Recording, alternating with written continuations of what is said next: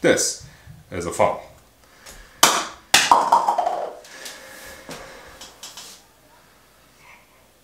I, I still need this.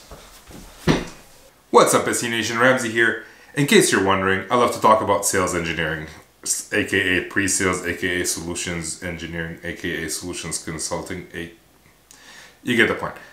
So I love talking about it. I love helping people get jobs as sales engineers, whether they're looking for, they're already sales engineers looking for a new, new job or they're looking to transition from something else into sales engineering.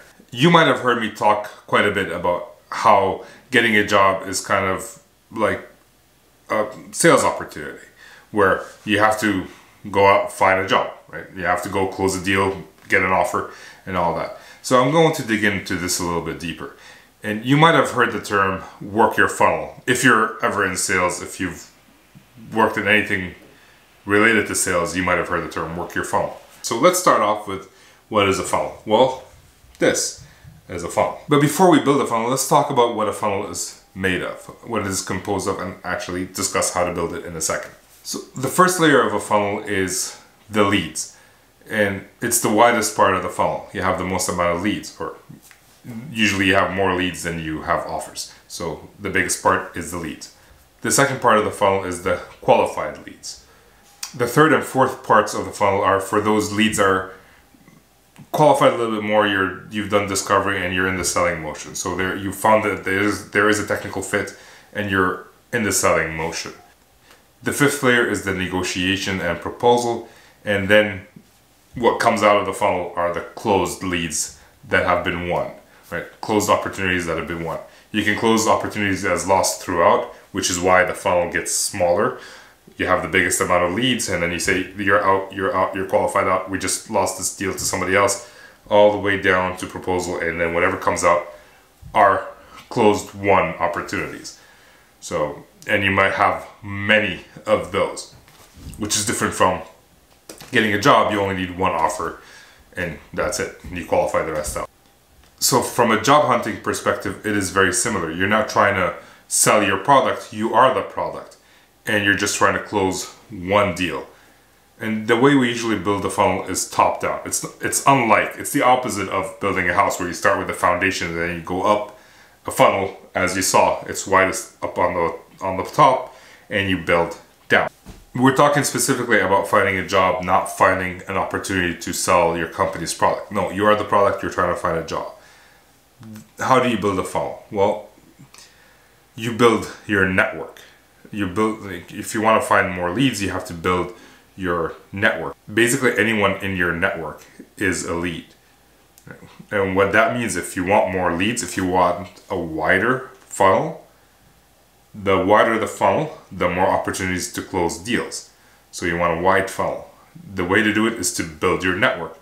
And we've talked about this multiple times. How do you build your network? Well you can check out my podcast with Anthony Palmoze we did discuss that you start by simply liking, going on LinkedIn and liking people's posts, liking, uh, sharing their posts, and working your way into building relationship with those people, even before you actually reach out to them. Basically, because they're seeing you liking their posts and sharing their posts, commenting on their posts, you're you're already building a relationship with them. So start there. Find the people that are influential in the industry that you're in. Find the people that are influential in sales engineering or this is applicable for whatever industry you want to get into. If you don't want to get into sales engineering, if you want to get into something else, you can still use the same principles. It's just sales engineers recently have been way more active online, so it makes it easier. And you don't have to go on LinkedIn only. I know Anthony talked about going on uh, Twitter. You can go on Instagram. Wherever you find SEs, go there. Um, SENY has meetups. Pre-sales collectives has meetups. Go to these meetups. Pre-sales talks. That's on Twitter. If you're interested in listening to like, clubhouse type thing on Twitter. Greg Holmes, Samuel West, they have pre-sales talks, so you can go check that out and attend and talk to people there as well. There are many ways for for you to build your network, and the more you build your network, the more leads you get. Now, building the network is not the same as getting leads. Lead is basically a job opportunity. So if you find a posting, Eh, or you have a friend who tells you, oh, we're hiring, or I know that company's hiring. That's the lead. That goes into the funnel. The bigger your network, the more leads you get. Now, the network is not the lead. The lead is a job posting. Let's say you go on LinkedIn and you find a job posting. That's a lead. The bigger the network, the quantity of leads increases, not the quality. Now, you need referrals. You need to talk to people. You need them to, to refer you to those roles. The better the quality of the leads. Not all leads are created equal some people, you find a job posting online and you apply and you never hear back. Is that a good lead? No. So you need to find good quality leads, leads where people can actually refer you. And that's how you build a big lead funnel. So we started off by, by liking people's posts. You, you can then connect with people, build those relationships with people so that they can refer you and you can get good quality leads you need to fix up your resume so when they ask you to apply, you can apply and not be embarrassed by your resume or if they look at your resume not qualify you out even though you're a referral and you can fix your LinkedIn so you can get people who are searching for potential SEs to find you and actually build a relationship with you the other way. So there's kind of like inbound and outbound. I discussed that with on my podcast this week. Um, so check that out as well. But now you need to go into step two, which is qualifying the funnel. You have all these leads. Some of them will turn into interviews, some of them will not. If they don't turn into interviews, you just you, your funnel just shrank, got got smaller. And then if you do get interviews, you're most likely going to talk to the to the recruiter initially. And you're still qualifying the leads there it's they're not automatic opportunities is still a lead. You just talk to the recruiter. You want to make sure that the salary range is in the right range. And you know, people say like don't answer the question about salary range. I never do. It's I tell them it's too early to tell. I need to talk to more people. But I always turn it back. It's like, hey, what is the salary range that you usually look uh, offer SEs in this position? And they can tell you. And I've talked to several companies where they tell me it's like 50% less of what I'm making today. I'm like, you know what? I'm, I'm good. I'm way off. It's fine. I can move on. Now, if you're in a world where you're still practicing to interview, you can keep going with it and practice the interview. You never know what could happen. But for someone in my position, someone who's experienced, someone who has a lot of leads coming in, you might want to not go on to those interviews and do the qualified if you if you don't have as much time.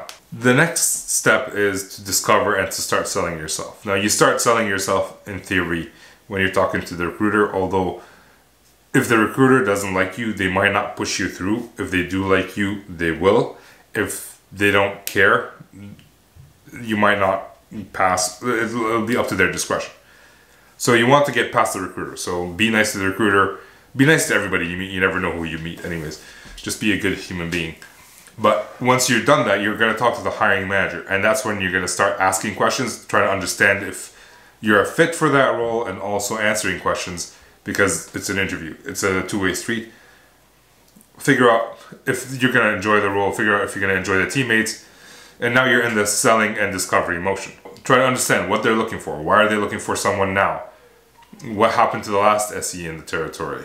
Uh, why did they leave? Are, is there a lot of turnover? How often are they hitting their quota?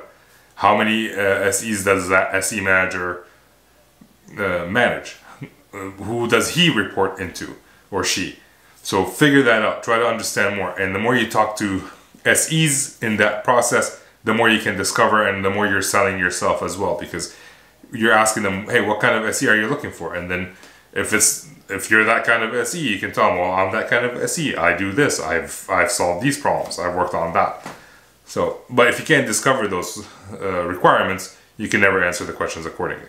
And now, as you can see, you started off with a lot of leads. You went into the recruiter or, or hiring manager, and your the leads are getting smaller, or the opportunities are getting smaller. You're you're saying no to this. They're saying no to you on that. So it's just getting smaller and smaller which is why you need a big funnel at the top so that you have more opportunities. And now you're getting into the, you've, you've done the selling, you've done, you're doing the demo uh, interview, which is Uh, by the way, very different from doing a demo like for a customer. So now you're moving into the negotiation phase, right? They're gonna offer you a proposal. You're gonna say yes. You're gonna say no. You're gonna uh, negotiate on price. You're gonna negotiate on vacation days, on RSUs. There are multiple things to negotiate on. But now you're getting to the bottom of the funnel. And as I mentioned earlier, when you're in sales, as, as a sales engineer or a salesperson, you have a quota and you need multiple opportunities, multiple deals to close to hit that quota.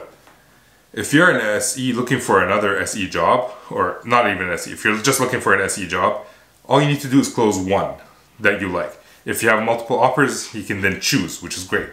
But all you need is one. So that's the end of the funnel. The thing is, leads can be in different stages of the funnel. Like you can have a brand new lead while you're do doing the demo interview for another lead down down on the bottom. So it's not simultaneous. It's you know it's it's over a period of time. You could be at any stage. You can be at different stages with different opportunities. So now you've gotten the offer. You've signed on the dotted line. You're you're officially uh, SE for that new company within like six six weeks or two weeks or whatever it is that you negotiate. Is your job done in building the funnel? I would say it's never done. The reason is you've spent a lot of time developing these great relationships with these different people. You, the people you've interviewed, uh, you've interviewed for, you've interviewed with, the people you've built relationships in order to get the opportunities to interview with others. You never know what when you might need them again, and you never know when they might need you. So, if you want, I would say a lot of these things that came out just go right back into the top of the, the funnel. Even if you qualified them out earlier on in the in the interview process, you never know. Next year they could be in a different company, and they could be hiring people there, or they could be out of a job and they're looking for a job. So you go back into the top of the funnel, and you can cherish those relationships. You can you've built them You've worked hard on them. Don't just throw them out. Again, they might need you, you might need them. Keep meeting new people as well. You just, let's say you went up from 500 to 1,000 connections on LinkedIn.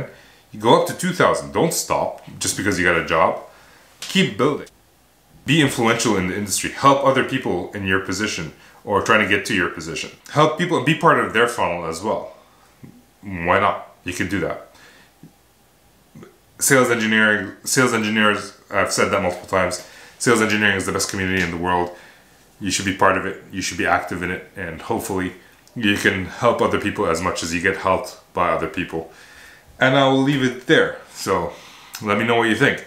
If you did like this video, make sure to like, share, and subscribe. If you didn't, tell me why. I'd love to know why. So, get back to work. Peace.